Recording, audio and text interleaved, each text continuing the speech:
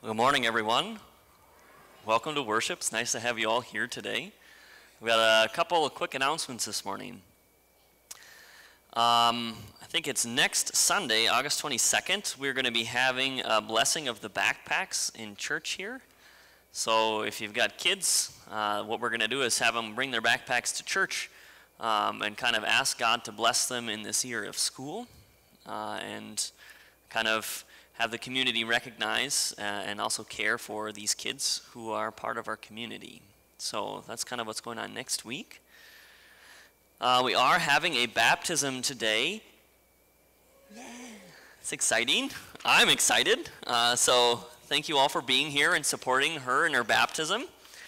Um, we are going to be doing some things a little bit differently today than we have in the past. Um, we are finally getting back to communion how we used to do it. so maybe we've forgotten how we used to do it. Uh, so here at Concordia, anybody is welcome to have communion. Uh, kids, adults, people who aren't Lutherans, anybody is welcome. And the reason we do that is because what Jesus has done on the cross is for all people. Uh, so what we eat and what we drink is God's love for us and we say and we recognize that what Jesus Christ has done is for me. Uh, so, how we do that here when we're not using the little individual packets in the back deal is usually we start in the front, so you guys are going to be great today. It's going to be good. Uh, so, when we're having communion, you guys can just come out into the center aisle. I'll be here handing out bread. We'll have someone else over here with a tray of wine or grape juice. Grape juice is in the middle. So you can grab what you want, and then we got little baskets on the ends of uh, where to put your cups. And seeing as everyone's on this side today, almost, you guys are great holding down the, the left side or the right side on your perspective. It's wonderful. Uh, I think we'll just use this side today. So, uh, so we'll just come up and kind of individually as you want, come out on your rows, come around, grab bread, wine, put your cups in there, and then you kind of circle around and go back to your pew. Uh, if you are not comfortable with that, with COVID things and germs, we do have little individual cups in the back that have wine and bread in them uh, that you can use instead.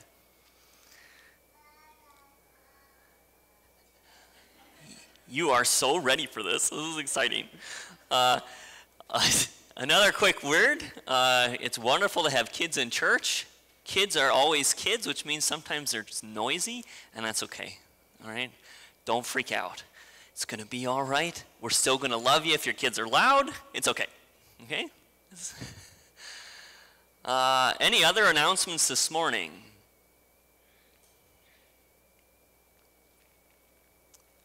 All right. Well, seeing no other announcements, I invite you to take just a few moments before you begin church uh, for prayer.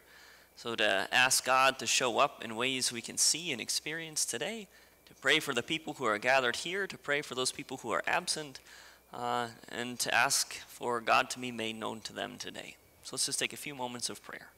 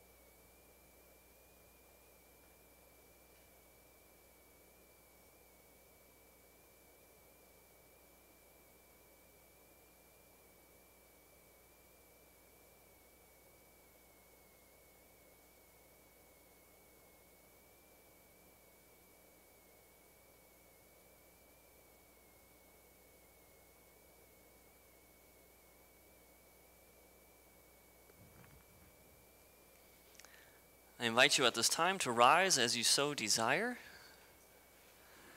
Uh, in Lutheran churches, we begin our service most every Sunday by confessing that we are not perfect people. Uh, and so no one in here is perfect. Uh, and we're also going to hear that God chooses to love us anyway.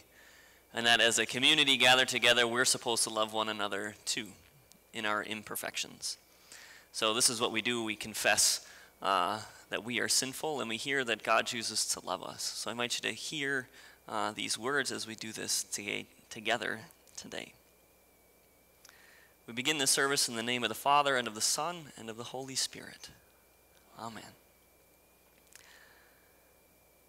Almighty God, to whom all hearts are open, all desires known, and from whom no secrets are hid, cleanse the thoughts of our hearts by the inspiration of your Holy Spirit, that we may perfectly love you and worthily magnify your holy name through Jesus Christ our Lord. Amen. I invite us now to take just a few moments to confess uh, our sinfulness. So, our sin is doing things that harms our relationship with God and harms our relationship with other people. So, we typically have this time in church of silence where we confess things to God. Now, uh, it's better for us in terms of relationship with God and with others to be as specific as we can, not just to say, oh, yeah, I know I'm not perfect. And it's better to say, you know, I lost my temper at work this week, or I said things to my spouse I don't that were harmful, or I didn't I wasn't patient with my kids, or fill in the blank. Because when we are specific, that's when transformation can happen, where we can acknowledge this is not okay and I need to be something different. God help me. So I invite us now to take just a few moments of silence to do that, to come before God and say, these are the areas that I need to work on. I'm sorry.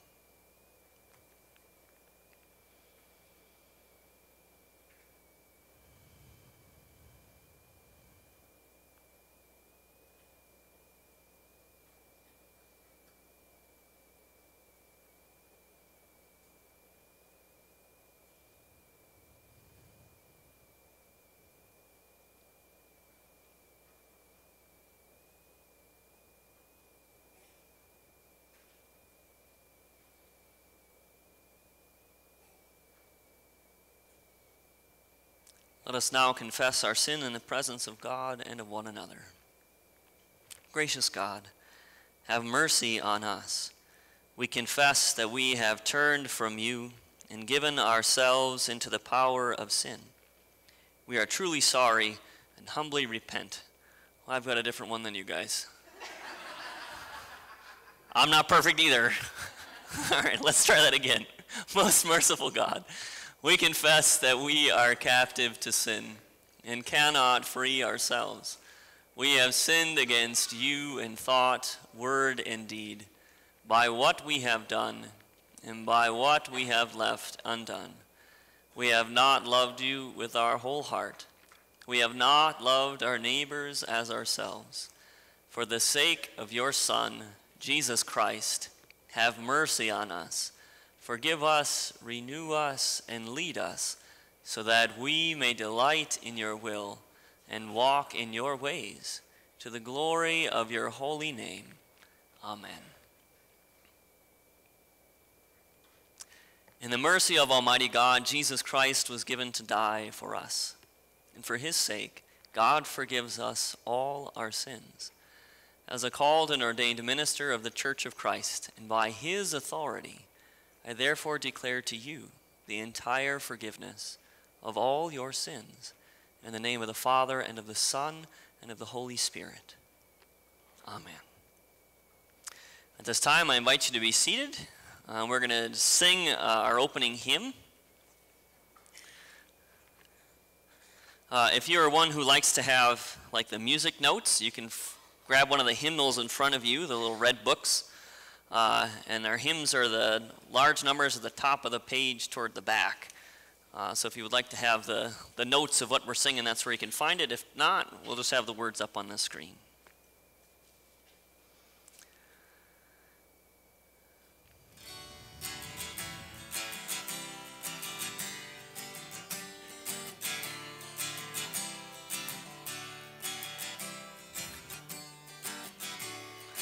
Here in this place the new light is streaming, now is the darkness vanished away. See in this face our fears and our dreamings brought here to you in the light of this day. Gather us in the lost and forsaken. Gather us in the blind and the lame. Call to us now, and we shall awaken. We shall arise at the sound of our name. We are the young, our lives are a mystery. We are the old who yearn for your face. We have been sung throughout all of history, called to be light to the whole human race. Gather us in the rich and the haughty, gather us in the proud and the strong. Give us a heart so meek and so lowly, Give us the courage to enter the song.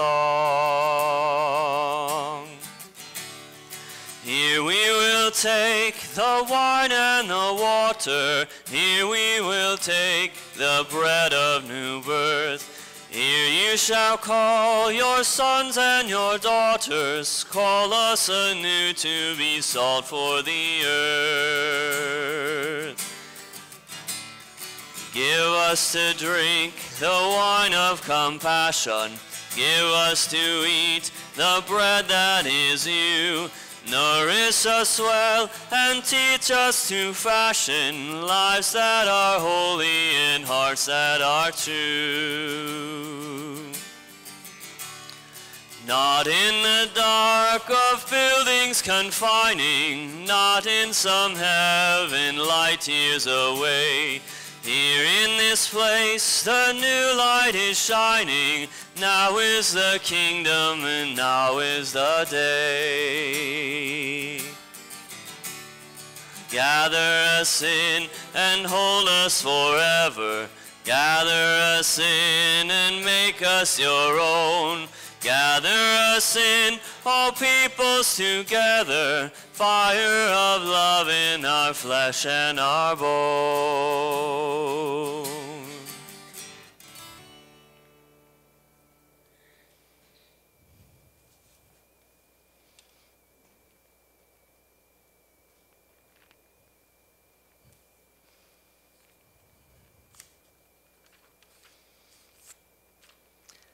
The grace of our Lord Jesus Christ, the love of God, and the communion of the Holy Spirit be with you all.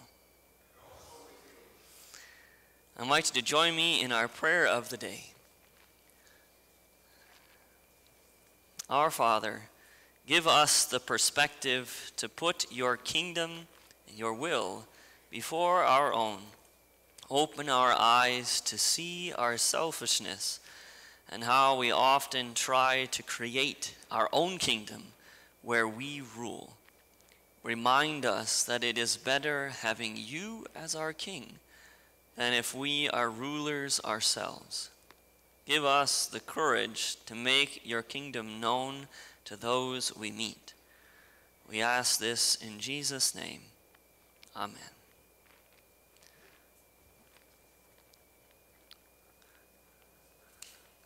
Going to change venues here so we don't get cricks in our necks here. so, our first reading today comes from Matthew, the sixth chapter, verses 5 through 15. So, at Concordia here, we're presently in the middle of uh, a sermon series on prayer. So, I invite you to um, be listening for things about prayer today. Matthew 6, verses 5 through 15. Jesus teaches us, And whenever you pray, do not be like the hypocrites, for they love to stand and pray in the synagogues and at the street corners, so that they may be seen by others. Truly, I tell you, they have received their reward. But whenever you pray, go into your room and shut the door, and pray to your Father who is in secret. And your Father who sees in secret will reward you. When you are praying, do not heap up empty phrases as the Gentiles do, for they think that they will be heard because of their many words. Do not be like them, for your Father knows what you need before you ask Him. Pray then in this way Our Father in heaven, hallowed be your name. Your kingdom come, your will be done, on earth as it is in heaven. Give us this day our daily bread, and forgive us our debts, as we also have forgiven our debtors and do not bring us to the time of trial, but rescue us from the evil one. For if you forgive others their trespasses, your heavenly Father will also forgive you. But if you do not forgive others, neither will your Father forgive your trespasses. Word of God, word of life. Thanks be to God. Our second reading today comes from Matthew, the sixth chapter, verses 33 and 34. Jesus teaches us. But strive first for the kingdom of God and his righteousness, and all these things will be given to you as well. So do not worry about tomorrow, for tomorrow will bring worries of its own. Today's trouble is enough for today. Word of God, word of life. Thanks be to God. And our final reading today comes from Matthew, the 13th chapter, verse 33, and then verses 44 through 50. Jesus told them another parable The kingdom of heaven is like yeast that a woman took and mixed in with three measures of flour until all of it was leavened. The kingdom of heaven is like treasure hidden in a field, which someone found and hid. Then in his joy he goes and sells all that he has and buys that field. Again, the kingdom of heaven is like a merchant in search of fine pearls. And finding one pearl of great value, he went and sold all that he had and bought it. Again, the kingdom of heaven is like a net that was thrown into the sea and caught fish of every kind. When it was full, they drew it ashore, sat down, and put the good into baskets, but threw out the bad. So it will be at the end of the age. The angels will come out and separate the evil from the righteous and throw them into the furnace of fire, where there will be weeping and gnashing of teeth. Word of God, word of life. Thanks be to God.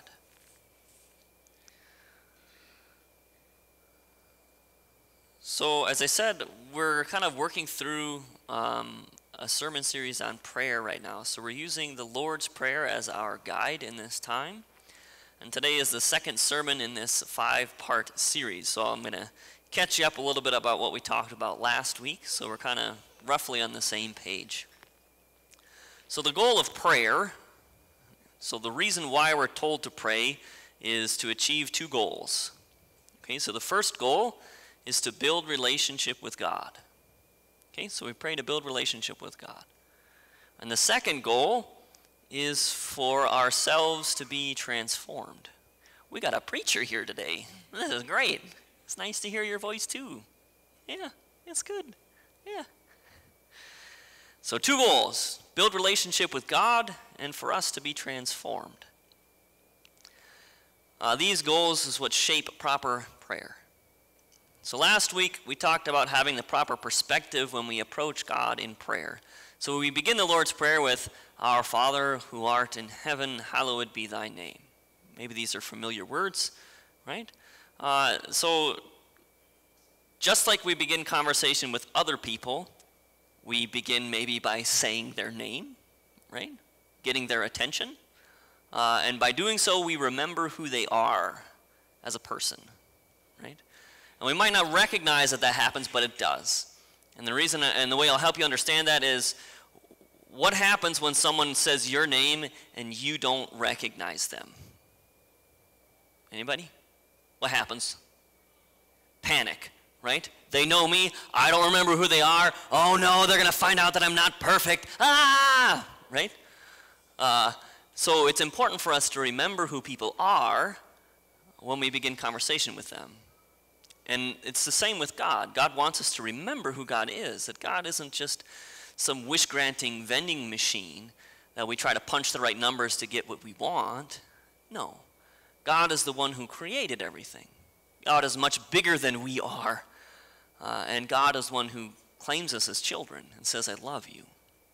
So when we begin prayer, it's important for us to remember who God is, to have the proper perspective when we approach God, just like in every other relationship. So that's kind of what we talked about last week. Today we're going to be talking about uh, this kind of the first thing that we actually pray in the Lord's Prayer. So the first thing is we acknowledge God, and then we actually have a request. And the request is, Thy kingdom come, Thy will be done on earth as it is in heaven. Uh, this is the first real thing we pray about, and it is the most important. That's why it's the first thing.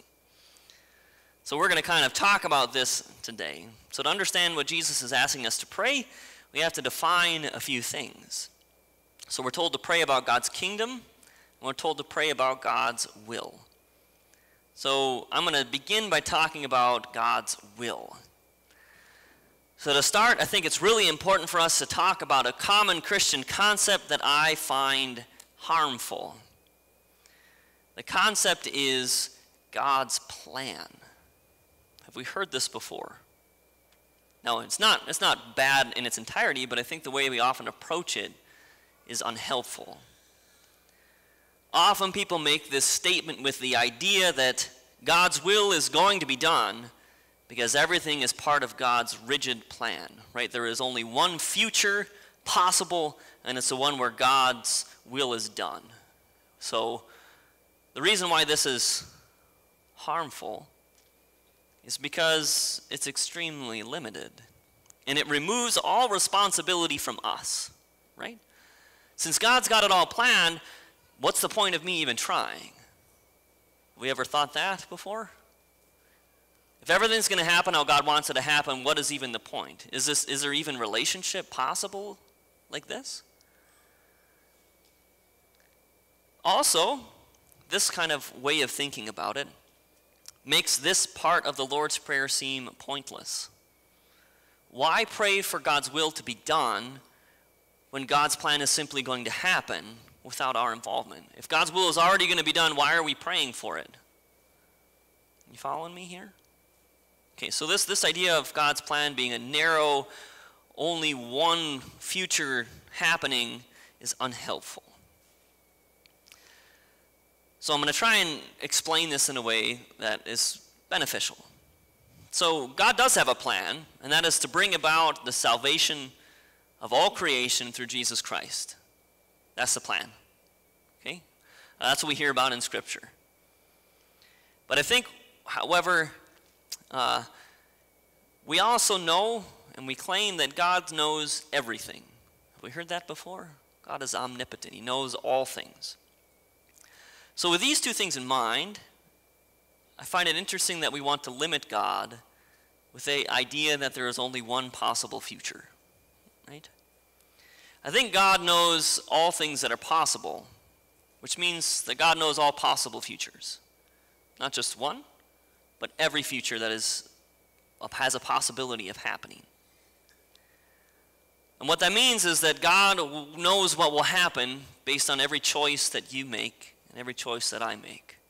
God knows what's going to happen if I stop preaching right now.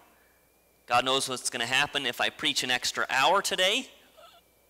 Uh, God knows what's going to happen if you skip lunch today. God knows what's going to happen if you choose to love your neighbor or if you choose not to love your neighbor. So, this idea that the future is rigid and only one, one possibility is false. God knows the possibility of all futures. So, the future isn't this railroad that we have to stay on, it is an ever branching tree of possibility with the choices that you make and the choices that I make. Okay, so we follow in that concept. The future is ever broadening based on the choices that we make. So, this is why Jesus teaches us to pray, Thy kingdom come and Thy will be done. Because it allows us to participate in making God's future happen. Right? This is the point of God being in relationship with us, is so that we can make God's future happen. So that God's will is going to be accomplished by the choices that we choose to make. So it's not this rigid thing where we have no no say in what's going to happen. Rather, God says, I'm giving you the opportunity to choose me. And giving you the opportunity to join me in making a future where love is known, where my will is done and my will is for everyone to be loved and cherished. So, this is what we're praying for when we say, Thy will be done. We're praying that by the choices I choose to make and the relationship that I have with God, that God's will is going to be done in my life, in the choices I make and the relationships I form. And this is, this is how transformation happens in this prayer. Uh, we put God's will before our own. We make God's commands more important than my ideas. We build a future that loves God and loves our neighbors. And we make sure, we, we do our best to make sure the future that God loves, the future that God wants, is the one that we are actively bringing into the world by the choices we make. So, this leads us to, this, to the discussion about God's kingdom. This other thing we pray about. So, a kingdom is a place in which a king rules, a place in which a king has power. Does that make sense? I think that's the easiest definition of a kingdom. Uh, a kingdom is a territory in which a king has authority and control, respect, and responsibility. So, when we make God's will a priority, when we allow God's commands to shape our lives, we literally create God's kingdom around us. I think sometimes when we pray this, we think we're talking about when Jesus returns. Let your kingdom come quickly. And sure, I mean, that's an okay way of praying it. It's not, it's not like bad. But I think there's a more transformative way for us to pray about this, uh, which is about saying, I want your kingdom to exist in this space I inhabit. Since you are my king, your rules must be important. And so you need to be the ruler of my life. So, this is what happens when the space we occupy is a space in which God's will is done. We literally make God's kingdom happen around us. When we pray for God's kingdom to come, it's not about God's future kingdom. It's about praying that the space in which I live will be ruled by God. So, this is a, a powerful thing to pray. A powerful way of transformation as well, because it's not about me building my own kingdom and me amassing my own money and my own power and me, me, me, me, me. Rather, we're encouraged to remember no, the one I'm talking to in prayer is far greater than I. And this is the one whose will is most important. And the way that God calls me to live is good. And actually better than the way I would choose to live. So we had a, a couple of different stories about God's kingdom in our lessons today that we read. Uh, and so I want to talk about the story about the woman and the yeast. So if you don't remember what that story was, uh, Jesus taught that the kingdom of heaven is like a woman who takes yeast and kneads it into the dough, and all of the dough is leavened. Right? So, what this is talking about is when we allow God to be the king of our life, God's kingdom becomes present in all areas. Right? So, this isn't just. Uh, when, when you add yeast to dough, how many, how many of you have made bread before? Anybody? Some people? Okay. So yeast is uh, a mold that you add to bread that allows it to rise. So if you don't add yeast, you're going to have flat bread. Okay? So yeast, we put it into the dough, and it's really, really teeny tiny. Okay? And then we knead it in. And so the question I have to ask you today is, those of you who have baked, and those of you who are recognizing dough is sticky and you just put a whole bunch of tiny little things in it, are you going to be able to get the yeast out of the bread? The answer is there is no chance. Not going to happen. Right? So, this idea, uh, and not only that, but when we put yeast in the dough and we mix it in, this itty bitty little bit of yeast spreads throughout the whole bread, and the whole loaf rises. It's not like one little bit does, the whole thing. So, the story about God's kingdom being like yeast that we put into bread is that when we seek after God's kingdom, that's going to spread into all areas of your life. It's not just an hour on a Sunday morning when you come to church, it is how you choose to interact with everyone in your life. That's well, how we know God's kingdom has come is when it's not just in these little pockets in our life, but it's spread throughout all the decisions that we choose to make. And it's something that can't be removed. The dough is transformed by the yeast. It's different than it once was, and it can't go back to how it used to be. This is how we are called to be transformed as people who live in God's kingdom. Is new life, different than we once were. So, this section of the Lord's Prayer is a powerful prayer of transformation. It's a powerful prayer to build relationship with God. The section reminds us of whose will and whose kingdom is the most important. It changes our perspective to see that God's kingdom and God's will is the most important, not my own. It reminds us that we have a responsibility and an opportunity to make God's kingdom known around us.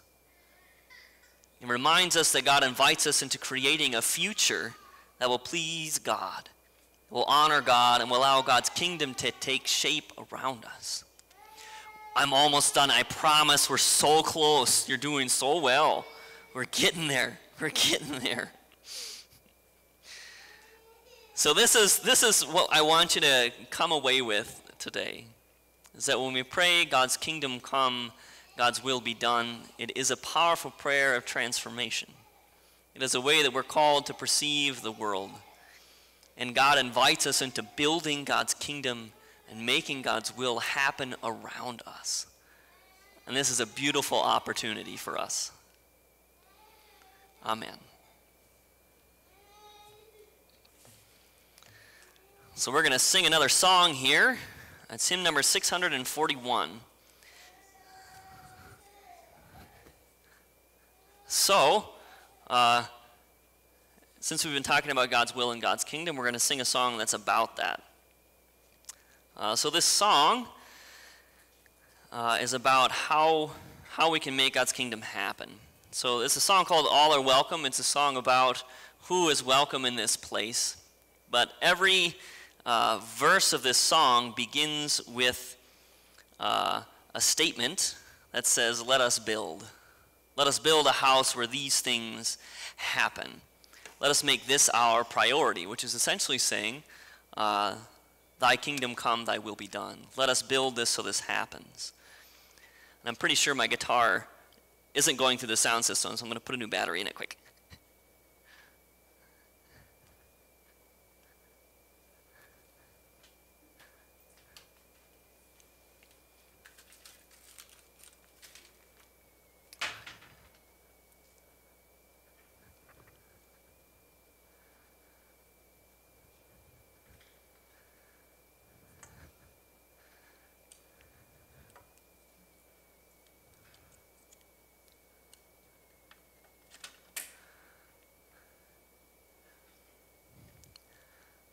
So, as we sing this song, I invite you to try to identify the ways that you can see, if we lived in this way, that God's will would happen and that God's kingdom would come.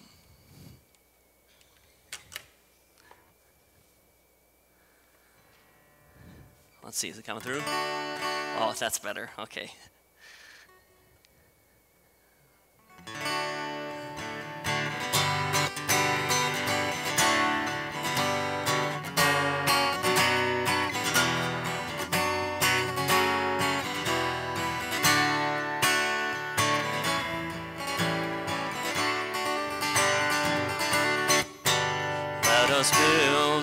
House where love can dwell and all can safely live. A place where saints and children tell how hearts learn to forgive. Built of hopes and dreams and visions, rock of faith and vault of grace. Here the love of Christ shall end divisions. All are welcome.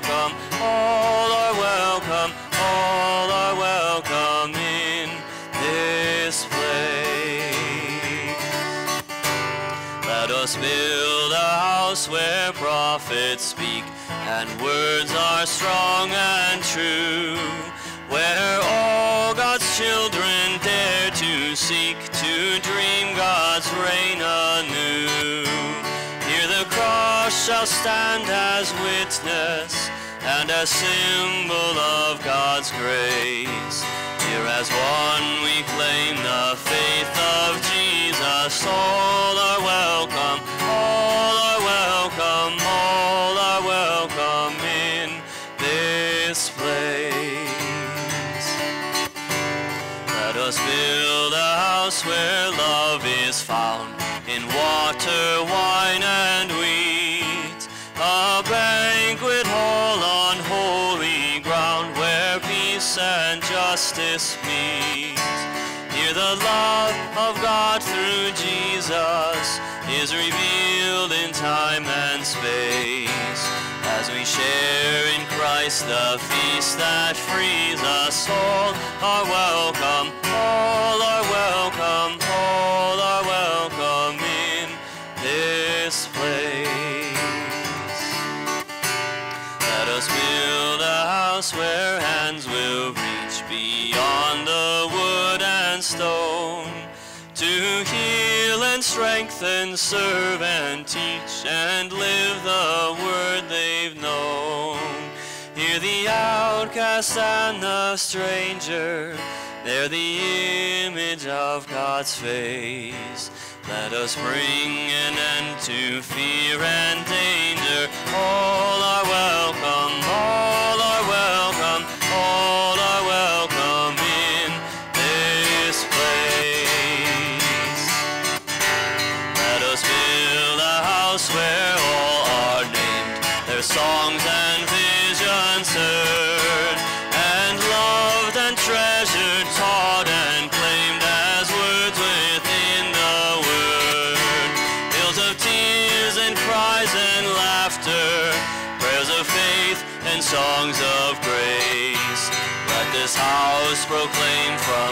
all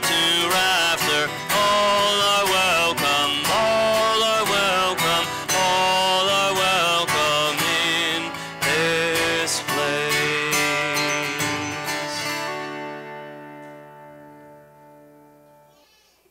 Amen. I'll take it.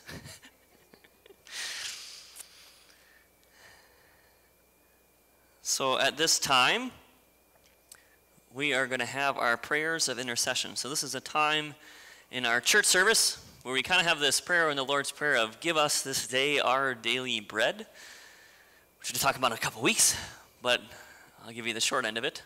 Uh, we're asking for God to give us what we need to survive. So during prayers of intercession, that's pretty much what we're praying for. Give us what we need to survive.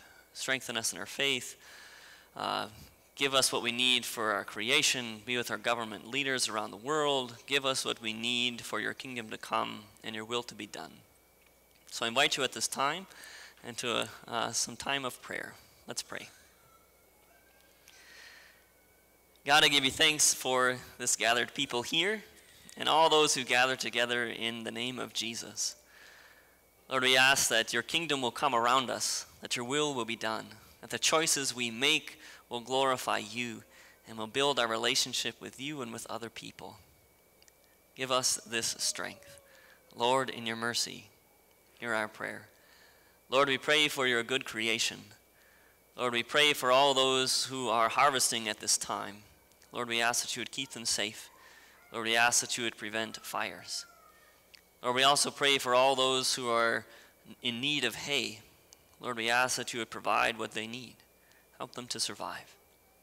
Lord, we also pray for all areas around the world that are suffering from uh, fires or drought or floods or famine. Lord, we ask that you would provide what they need.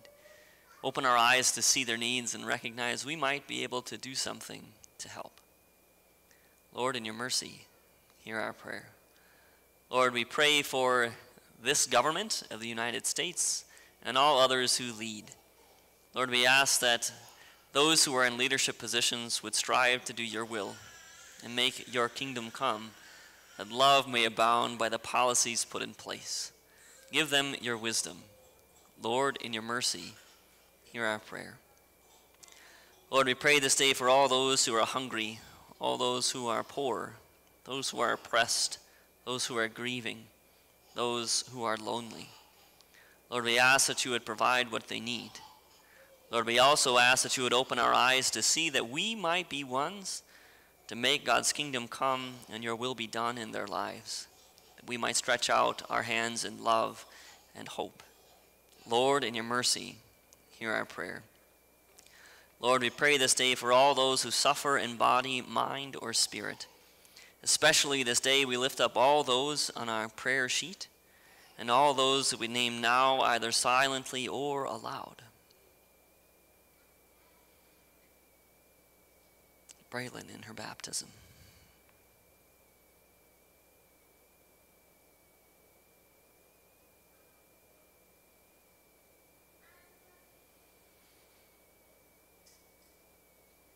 Lord, in your mercy, hear our prayer. Lord, we give you thanks for giving to us people to know and to love. Lord, we also give you thanks that in the face of death, you make the promise that we will meet them once again. That relationship has not ended, but has just delayed.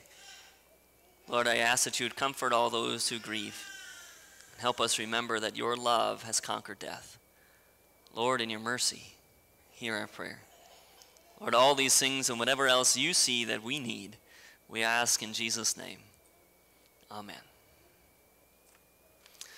All right, so at this time, I would invite uh, Braylon and her parents and sponsors to come on up. Oh, you're shy, huh? You want to be in front of everybody? You're going to do great. Also, at this time, uh, the family is okay with this, that if there are any kids in church that want to come up here and kind of see what we're doing around the baptismal font, you're welcome to come up here if you'd like to.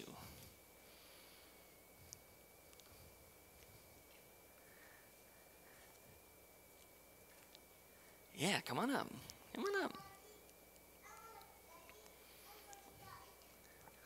Come on up here. Oh, yeah. Hi.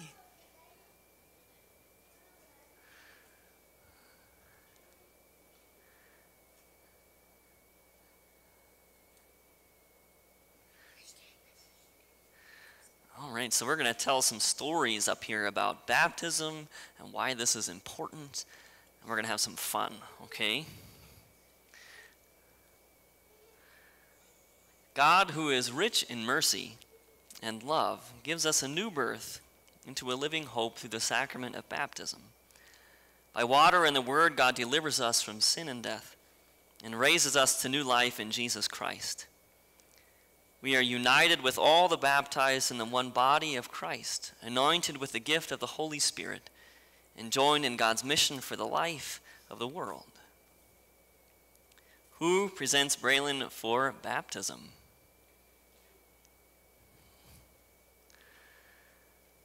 Called by the Holy Spirit and trusting in the grace and love of God, do you desire to have Braylon baptized into Christ?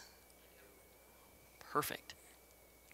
As you bring her to receive the gift of baptism, you, parents, are entrusted with responsibilities to live with her among God's faithful people, to bring her to the Word of God and the Holy Supper, to teach her the Lord's Prayer, the Creed, and the Ten Commandments, to place in her hands the Holy Scriptures, and nurture her in faith and prayer, so that Braylon may learn to trust God, proclaim Christ through word and deed care for others in the world God made, and work for justice and peace?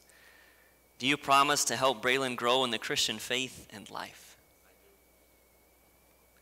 Sponsors, do you promise to nurture Braylon in the Christian faith as you are empowered by God's Spirit and to help her live in the covenant of baptism and in communion with the church?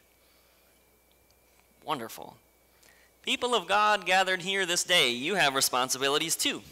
Do you promise to support Braylon and pray for her in her new life in Christ? If so, say we do. Excellent. I ask us all at this time to profess your faith in Christ Jesus, reject sin, and confess the faith of the church. So we're going to do this thing here where I'm going to ask you to renounce things. To renounce things means I want nothing to do with these things. So, in light of what I preached about today, this is also saying these things are opposed to God's kingdom and God's will. I want nothing to do with them. I want your will to be done and your kingdom to come. So that's kind of what we're saying together as a community, that this is important to us. So I ask you, do you renounce the devil and all the forces that defy God? I renounce them. Do you renounce the powers of this world that rebel against God? I renounce them. Do you renounce the ways of sin that draw you from God? I renounce them. Do you believe in God the Father? I believe in God the Father Almighty, creator of heaven and earth. Do you believe in Jesus Christ, the Son of God? I believe in Jesus Christ, God's only Son, our Lord, who was conceived by the Holy Spirit, born of the Virgin Mary, suffered under Pontius Pilate, was crucified, died, and was buried. He descended to the dead. On the third day he rose again. He ascended into heaven. He is seated at the right hand of the Father and he will come to judge the living and the dead. Do you believe in God, the Holy Spirit? I believe in the Holy Spirit, the Holy Catholic Church, the communion of saints, the forgiveness of sins, the resurrection of the body, and the life everlasting. So, quick note maybe it, we say that we believe in the Holy Catholic Church, and some of you might go, ah, but we're Lutheran. Uh, the word Catholic means universal. So it's got a little c there, uh, which includes our Roman Catholic brothers and sisters. We're talking about, I believe that the Holy Spirit is active in all denominations of those who follow Jesus Christ. So it's saying the universal church is what we believe in. So if that's a hiccup for you, you don't have to worry. Um, it's good news there. The Lord be with you. Let us give thanks to the Lord our God. Okay, so kids, if you want to stand up on the stools here, we're going to be pouring water into the basin. So you can kind of see what we're doing here. You want to stand up on the step over there? You can stand up on the step over there so, so you can see. There you go. Can you see up in here? Yeah? Okay. Now we're going to tell some stories about how God has done cool things with water in the Bible. We give you thanks, O God, for in the beginning your Spirit moved over the waters, and by your word you created the world, calling forth life in which you took delight. Through the waters of the flood you delivered Noah and his family, and through the sea you led your people Israel from slavery into freedom. At the river your son was baptized by John and anointed with the Holy Spirit. By the baptism of Jesus' death and resurrection, you set us free from the power of sin and death and raise us up to live in you. Pour out your Holy Spirit, the power of your living word, that those who are washed in the waters of baptism may be given new life. To you be given honor and praise through Jesus Christ our Lord, in the unity of the Holy Spirit, now and forever. Amen.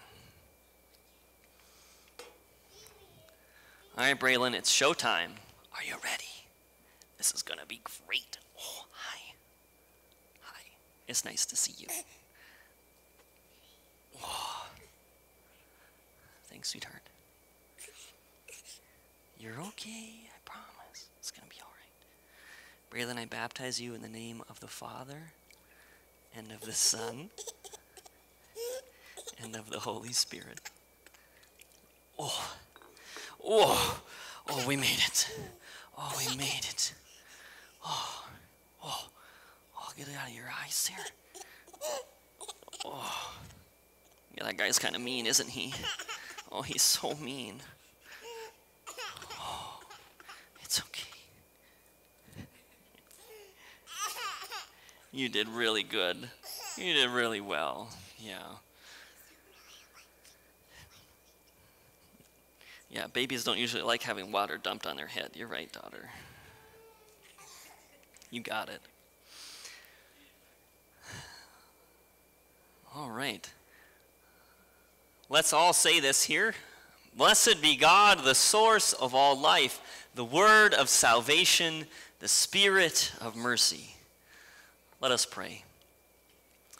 We give you thanks, O God, that through water and the Holy Spirit you give your daughters and sons new birth, cleanse them from sin, and raise them to eternal life.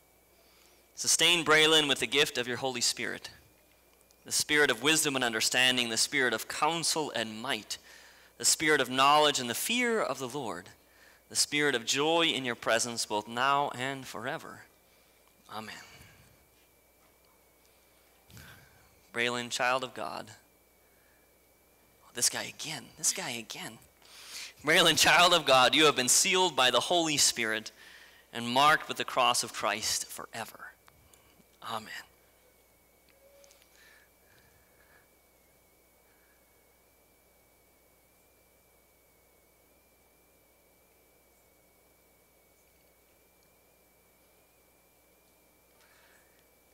Jesus teaches us let your light so shine before others that they may see your good works and glorify your Father in heaven. This is our hope for you, Braylon, that your light would shine and that others would know of God's love through you. I'll let you hold on to that for now. Let us welcome Braylon, the newly baptized. We welcome you into the body of Christ and into the mission we share. Join us in giving thanks and praise to God and bearing God's creative and redeeming word to all the world. So, something we do here at Concordia, if Braylon's going to let me, we'll see. I don't know. We had a rough go of it here we are going to go sing a song. Do you want to come with me and sing a song? We're going to sing Jesus Loves Me. And we'll let the people in the back see Braylon. Oh no, this guy again. Let's sing. Jesus loves me, this I know, for the Bible tells me so. Little ones to him belong. They are weak, but he is strong. Yes, Jesus loves me. Yes, Jesus loves me. Yes, Jesus loves me. The Bible tells me so. Yeah, this is way better than water, isn't it? yeah, we can blow that out. Do you want to blow it out? Ooh, good job.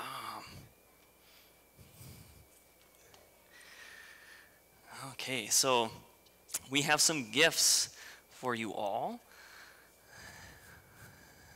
Got a certificate.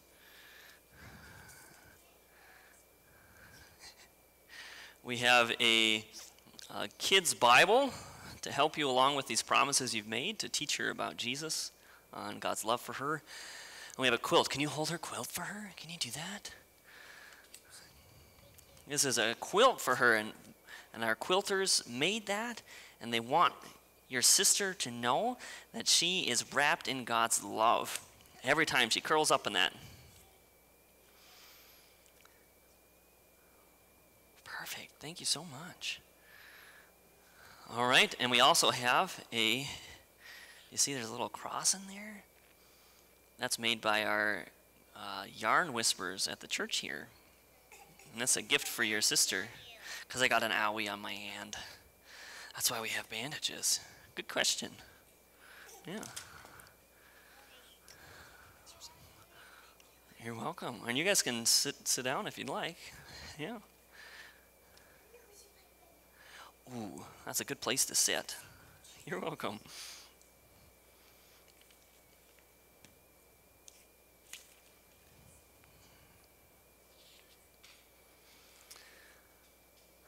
So, well, I invite you to share signs of peace with one another at this time. The peace of Christ be with you always, and also with you. We've just been kind of waving at each other, so we can do a quick wave. God loves you. It's nice to see you all. Peace be with you. and we we aren't passing our offering plates around either at this time. We just kind of have it sitting on the back table there in the narthex, which is that space back there. So if you'd like to give an offering, that's a place for it. If you already have, thank you for supporting the ministry here.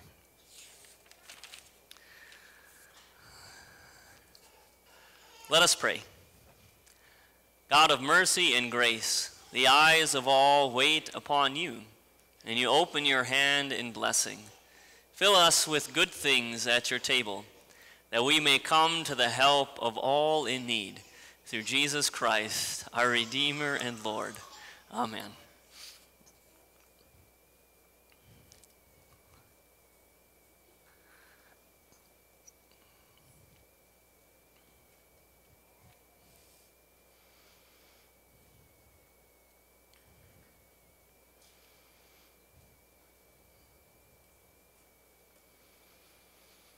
So I invite you at this time to hear the story of why we share this meal of communion and what it's supposed to mean for us.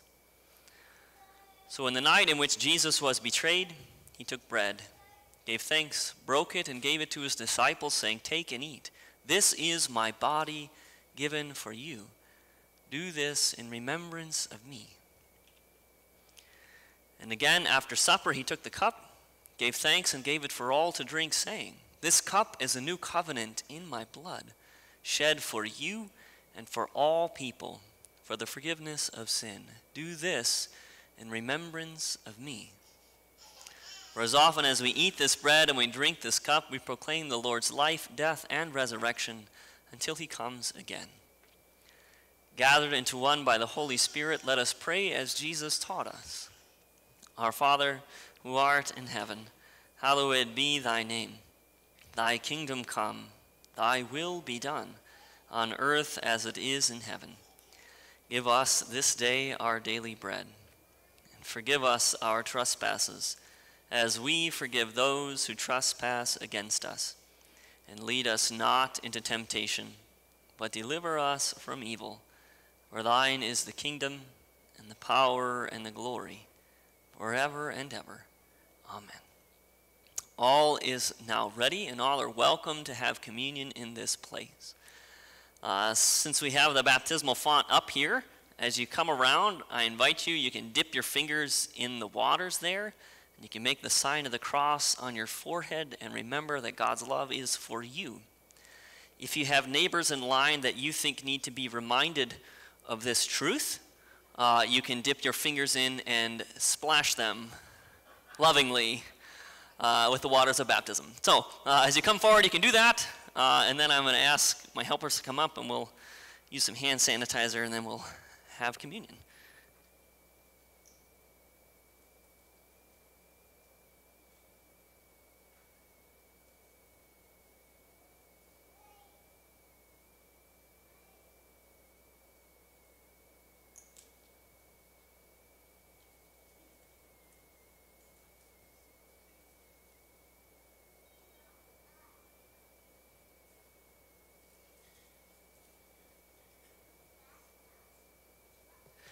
I also have gluten free wafers. If you need it, just let me know.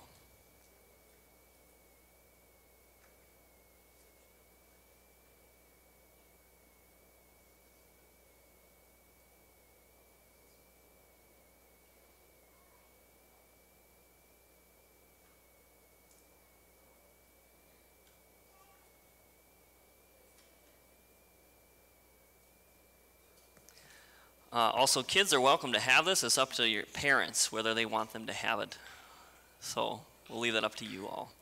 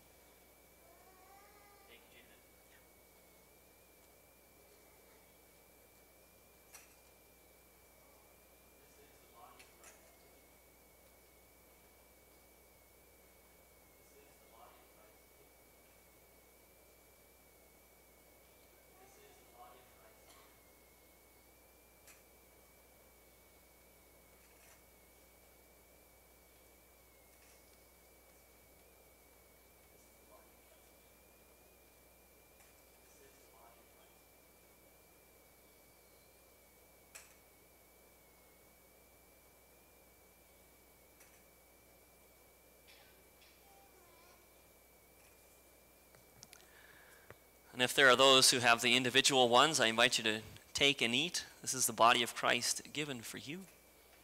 And take and drink. This is the blood of Christ shed out of love for you. Please take and drink.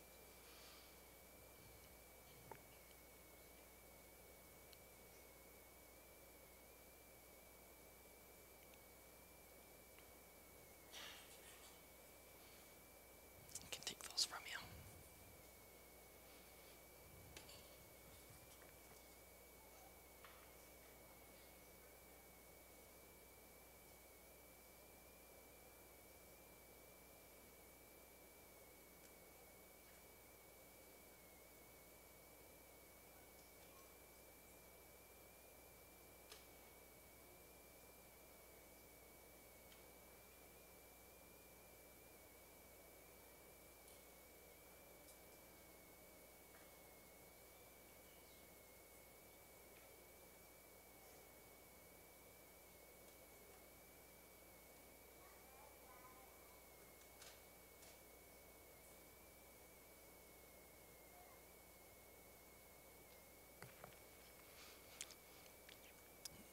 Uh, if you notice, we do this kind of juggling act at the end here.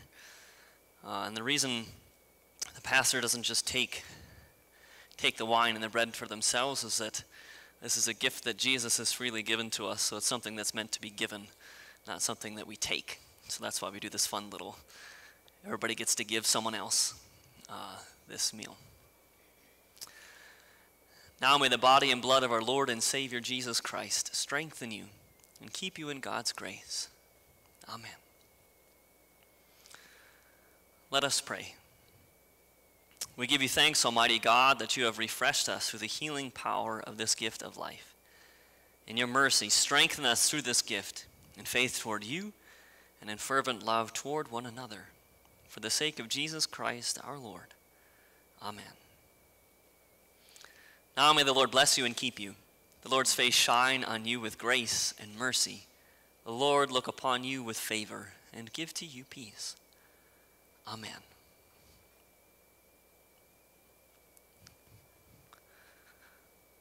We've got our sending song number 551. I invite you to join in singing. This is a song about being sent out of this place to go and make God's kingdom come. So I invite you to ponder the words as we sing this song.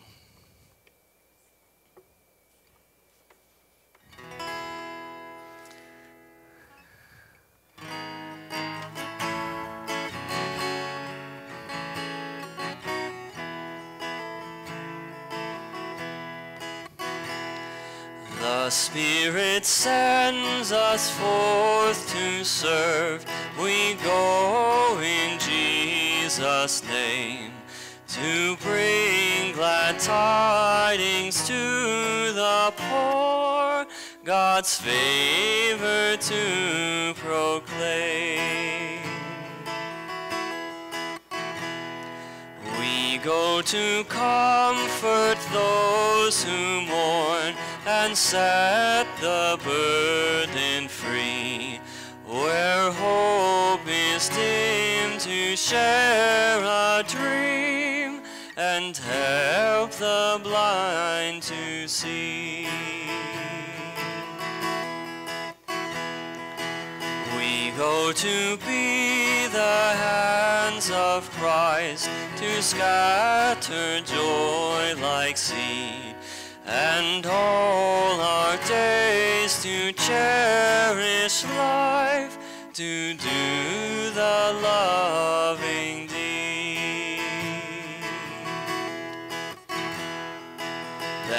let us go to serve in peace, the gospel to proclaim. God's Spirit has empowered us we go in Jesus' name. Go in peace to love and serve the Lord. Thanks be to God. There's some coffee and treats in the back if you want to stick around and fellowship. Uh, if not, I hope you have a wonderful week. It's nice to see you all.